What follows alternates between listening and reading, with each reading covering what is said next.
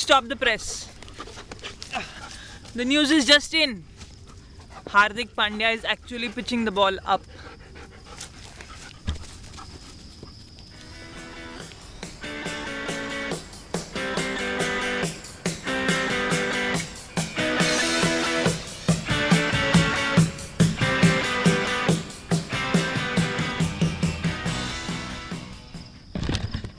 Today's episode of Not Out and About is coming to you from one of my favorite places in this city, one of Pune's famous tekdis.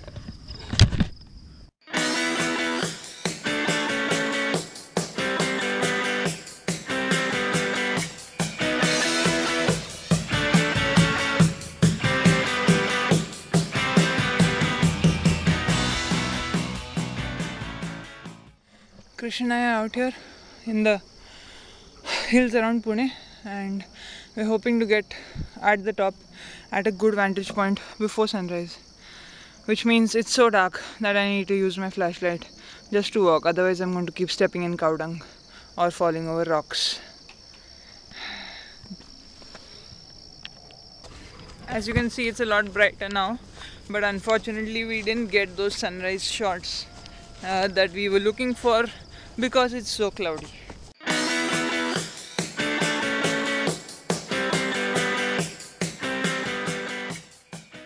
So every bowler has their own natural length depending on their strengths. Look at Morne Morkel and Dale Steyn for example. Steyn likes to pick, pitch the ball up. Morkel has the back of the length into your ribs kind of a preferred length. Hardik Pandya, judging by what we had seen of him in international cricket so far, liked the spot about halfway down the pitch, which is where he banged the ball in most of the time. So this was a refreshing change to see him really pitching it up allowing the ball to move in Dharamshala. It meant that he went for a few boundaries initially, but the results after that were there to see. It just goes to show how a little time away from international cricket uh, can help you go back to your basics, especially if you're under the watchful eyes of a man like Rahul Dravid. I know all of you want to hear about Virat Kohli but yesterday the game was won by the bowlers. An awesome seam bowling display in friendly conditions, backed up by Kedar Jadhav. Where did that come from? So Kedar Jadhav has a grand total of one first class wicket. And yesterday he got two and two balls. I guess that's what happens when you are under a captain who has the Midas touch. Welcome back MS Dhoni. So the Kiwis had some reason to cheer as well, and both those reasons came from the number 10. Tom Latham, the opening bat, became only the 10th man in ODI history to carry his bat through an innings. That's a lot of ODIs, and just 10 men have done it. Who are the other nine?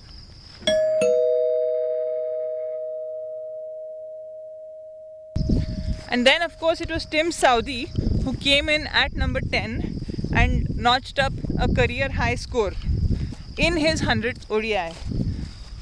They gave the Kiwis a little respectability, but it never was going to challenge the Indian batting lineup on what was a good pitch. And finally, something I'm really, really excited about is seeing Ajinkya Rahane at the top of the order. You guys might have guessed that I'm a big fan of Rahane.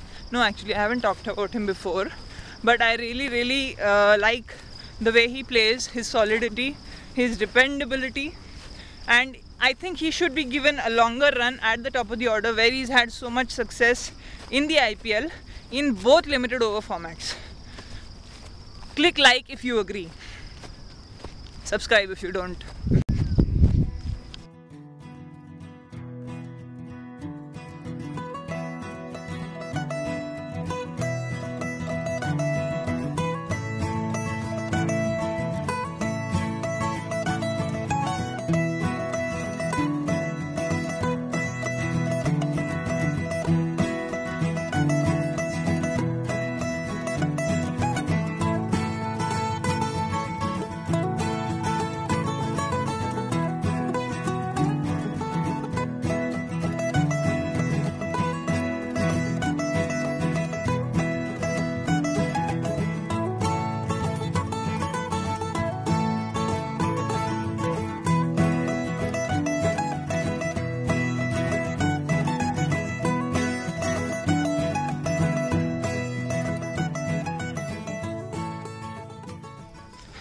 I just realized I've lost my phone.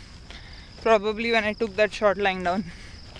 I was just thinking that Krish should be, Krish, you know, should come in handy to find my phone, even though I haven't actually taught him any kind of scent training. And he just came and he loitered around this area and look what's here. Beautiful baby dog, you baby dog. Baby dog is a good boy. It's a good, good, good boy. It's a good boy. Hmm. I think that's enough adventure for one day. Not catching the sunrise, almost losing my phone, but having a good time. I'll see you guys in the next episode.